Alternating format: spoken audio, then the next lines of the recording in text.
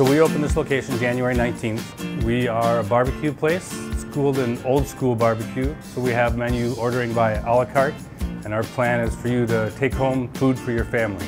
We have some meal items that we do for lunch and dinner and such that you can get like a four bone platter with ribs inside or you can do briskets with sides there too. I discovered in the process of my life that I could do such a thing and have this fantastic barbecue out there. So with that in my mind, I said I got to give this to the world. Got to give people the opportunity to have this type of good food.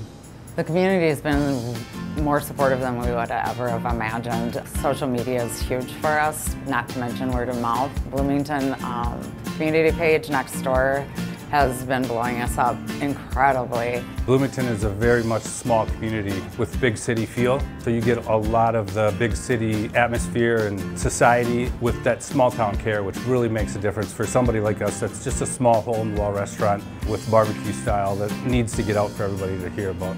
We've already got recognized by the Star Tribune for our brisket, so it's been a great choice I made and a, a fantastic business adventure. I think it comes down to the people that cook it. I can tell you my spice rub, I can tell you exactly how I do it, and you can do it right next to me, and it'll be different. You gotta have a passion. It's a passion of how you cook it, how you tend to the meat. He always likes to say that he takes that extra time and extra care to it, and nobody can cook it the way that he makes it. It's just the care that you put into it and the pride that you do every single day to make it taste the way that it tastes. The beauty of what we do here is you can pre-order all of your food ahead of time. Mondays, Tuesdays, and Wednesdays, there's not a big risk of us selling out of food, but Thursday, Friday, Saturday for sure, we sell out all the time. So getting your order in early allows you to have that meat on hold for whenever you want to come back and pick it up. You just simply go online, pick the day that you want to pick it up and the time that you want to come in to get your food, and once you come in, we'll get it all prepped for you and you'll leave with it all nice, and hot, fresh.